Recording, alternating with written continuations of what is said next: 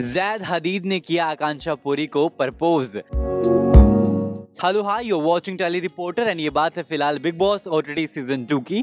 जैद हदीद का नाम अक्सर लड़कियों के साथ जोड़ा जाता है, चाहे वो मनीषा रानी हो, या फिर वो फलक नाज हो, और अंत में ये नाम जुड़ता है फ़िलहाल आकांक्षा पुरी के साथ भी।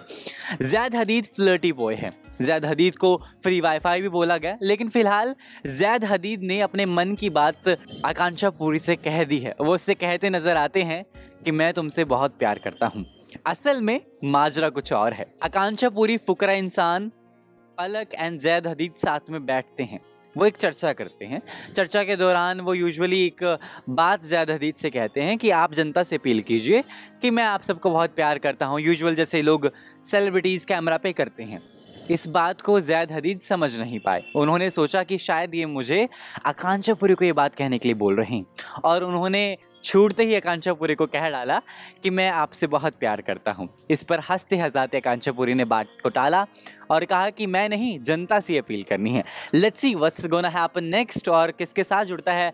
जैद हदीद का दिल असल में, वो देखना बहुत मज़ेदार होगा। Till then keep watching Telly Reporter